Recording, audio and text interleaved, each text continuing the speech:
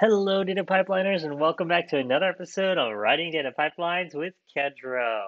I'm your host, data engineer numero uno, and in today's episode of Writing Data Pipelines, we're going to be talking about testing. So, testing is actually a huge topic that we can cover. Um, I'm not going to get to half of it in this one video. Um, so, what we're going to do is we're going to split this into several different videos. And in today's video, we're just going to talk about testing your nodes. So, what is testing? So, testing is protecting your software from any kind of future changes that may happen to it that will break functionality in the present, or rather, functionality from the past. Right? Uh, so, the idea here is that as time goes on, you're going to need more functions out of your code. You're going to expect more functionality, or you're going to have to make changes to your code uh, that will um, that will integrate with other kind of functionality as well. The problem is every time you make a change, you run the risk of destroying any kind of the old functionality that you previously had right so you actually can mm, by by accident or um, by you know just happenstance um, end up breaking your functions for the sole purpose that they are created for um, and as a result uh, you break your code. Um, it's it's a very interesting issue. Testing is like a huge, huge subject. This is a this is an oversimplification of it, of course, um, but the idea here is to ensure that the code that you write actually does what you think it does. And that's the most important part of testing. Uh, and so today I'm going to show you guys how to do testing on your Kedro nodes. All right, so let's go ahead and get started. Uh, it's it's actually pretty simple here. What we're going to do uh, is I have a, a basic um, iris data set pipeline. And uh, what we're going to be doing is we're going to be um, writing a test for a function that I've created. Um, and uh, we're going to be uh, testing that test and showing you guys how that works. Uh, and in this project, what we're going to be doing is we're going to be using Kedro hooks. Um, if you guys haven't seen Kedro, uh, Kedro hooks, uh, you can watch my video on hooks, uh, previous one, and the particular hook that we're going to be using is Kedro Wings. So that was the uh, plugin that was released the other day um, that I made a video about last time. So if you want to take a look at what Kedro Wings does, how it works, uh, you can you can watch that video. Uh, but we're going to use it today to just to make it easier for us to create data sets. Uh, so all you got to do is from Kedro Wings import Kedro Wings and then add it to the hooks here. Um, so the, the, the, the pipeline that we're going to be creating is going to be based on this thing called uppercaser. Um, what, what this node does is it just takes every single element inside of a pandas data frame and it uppercases it for you. So we just create these like this huge, you know, we're just uppercasing things. It's really nothing more complicated than that. Um, but I think it's a it's a it's a function that we can use uh, in order to uh, demonstrate how testing can work. So we have our uppercaser function, um, and we have our pipeline here. So the pipeline, again, is a basic Iris dataset pipeline. Um, and here we have this testable pipeline where we're importing uppercaser from our um, nodes uh, and then running it through the example Iris dataset. Then we're using Kedro Wings in order to create a new dataset for us, uppercased.csv. Uh, and then this pipeline here uh, is a, the default pipeline. So we're not using the data engineering and we're not using the data science pipelining. Um, the, the output here for uppercase should go inside of this O1 raw. And, and again, uh, this is not actually located inside of the catalog. That's just uh, the, the key feature of Kedro Wings to automatically create that for us. So when we do Kedro run, it'll go through, read the iris data set, uppercase all of that data, and then output it to the uppercase.csv. And so, taking a look here, you may be wondering, well, obviously, this node works. Like, why do I actually need to write tests for it?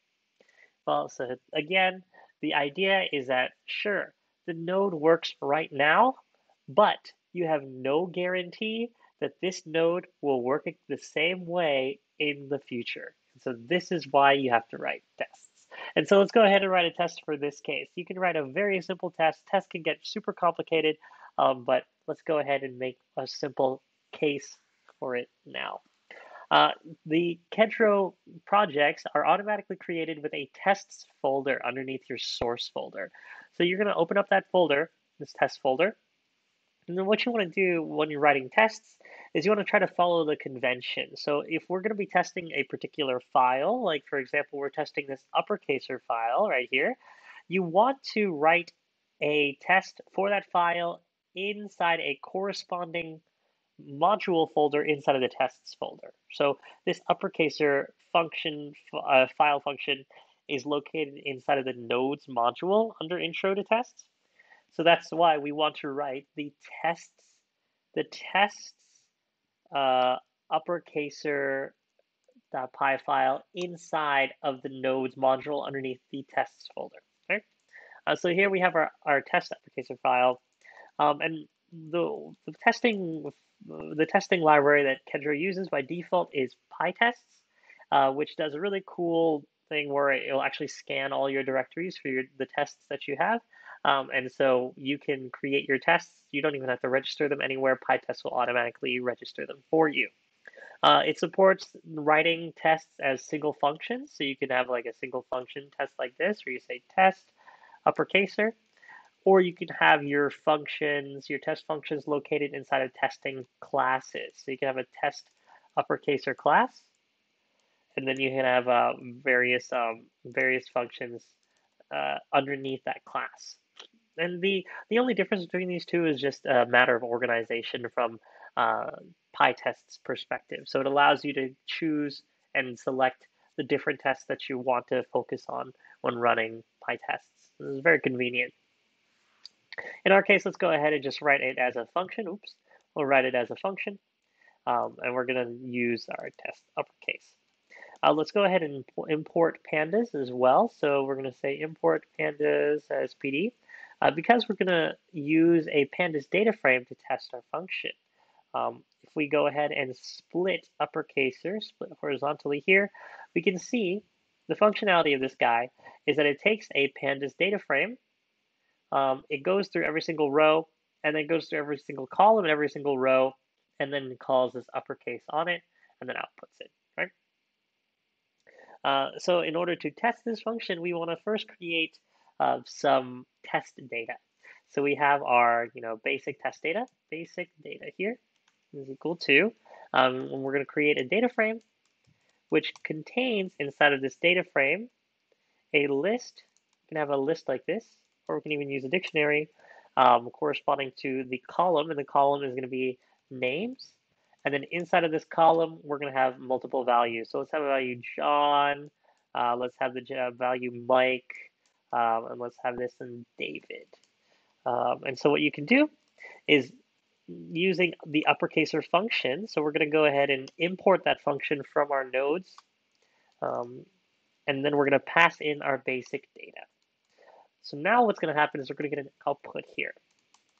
In order to create a successful test, you want to make sure that you assert something. So every single test should be asserting something. It should be saying, hey, this thing is supposed to do blank, right? And in this case, we're going to say test uppercaser, actually uppercase, is uppercasing things. And so we are going to make sure that the output from our function equals. And so this is actually a built-in feature of um, Pandas data frames that allows you to just make sure that two data frames are equal. We're going to say this data frame that we're getting should equal a brand new data frame that contains the same list of names but uppercased as John, Mike, Dave, right? So we've done we've done uh, the actual uppercasing manually um, in order to create the output test data for this John, Mike, David uh, basic data input. So now, in order to run this test, all we have to do is we type in Kedro test. And so Kedro will then automatically go through our testing folder and then run the test for us. And as you can see here, we have all of our tests to run. Um, Kedro already comes with a, its own basic test, these tests run. And then it also comes here with our test that we just wrote, this test uppercaser.py test. And as you can see, uh, it went through, it had no problems. Um, it's good practice also to make sure um, to actually test your test. So you want to make sure that your test works. And in our case, let's go ahead and just um, lowercase one of those letters. Um, and, in, and then we're going to rerun this guy. Um, what's really cool too, and this should fail, we should have a fail. And you can see we failed, so that means our test for our test has tested that it works. um, and something that's really cool here is that actually PyCharm comes with PyTest functionality too. Um, what you can do is you can actually use PyTest here uh, and then instead of using uh, a script class, script class, you can actually you, you type in source here instead of Kedro in order to run the Py. Uh, PyCharm allows that that integration with your PyTests so that your test can show up right here inside of the PyCharm interface. And as, as it says here, we've broken our Mike uh, and it shows us our, our diff. It's a little bit hard to see here, uh, but what we can do is we just uh, fix this guy here, change that to capital I Mike. We can rerun our tests and we can see that it actually works just fine. So that really covers the basics of uh, making sure that your functions are correctly uh, written and are running correctly as well. Uh, and this, this, ensures that your code uh, and your basically uh, your pipeline will be safe for any kind of future changes. So uh, that's it for today's video. Thanks a lot for taking a look. We'll be covering more testing in the future. Uh, but for now, I think this is a great little introduction for how you guys can write your tests and how you guys can run your tests to make sure that you guys are writing better data pipelines. so if you like this content, just make sure that you button that like, sub that subscribe, and ring that ding if you want to know when we are pipelining. And I'll see you guys in the next one. Take care. Bye bye.